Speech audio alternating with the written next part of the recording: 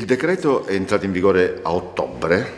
del 2018 e ha un numero significativo, il decreto numero 113. 113 perché coniuga e lega la, quella vicenda che certamente non è emergenziale della, della migrazione a quella della sicurezza. Quella della migrazione è il punto sostanziale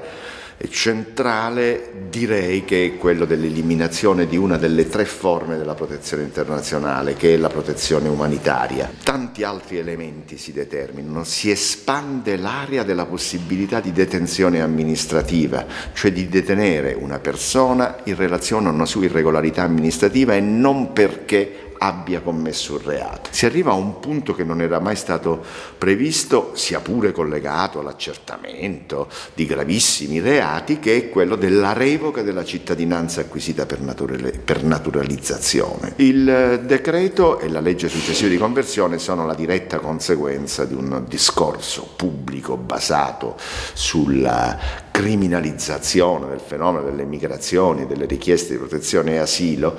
che va avanti ormai da anni e poi in maniera sempre più costante un po' caratterizza il momento per il, la, il raccogliere il consenso dell'elettorato. Poi ci sono tanti problemi di costituzionalità, a partire dall'utilizzo dello strumento del decreto, del decreto legge, qual era la necessità ed urgenza, non siamo di fronte a un fenomeno temporaneo e anche in relazione alla costituzionalità del decreto in relazione alla non omogeneità delle materie, appunto abbiamo visto disposizioni di carattere penale, disposizioni che riguardano i beni confiscati alla mafia, questioni che riguardano la protezione internazionale, questioni che riguardano la cittadinanza, tutti insieme in questo, in questo mostro eh, legislativo che,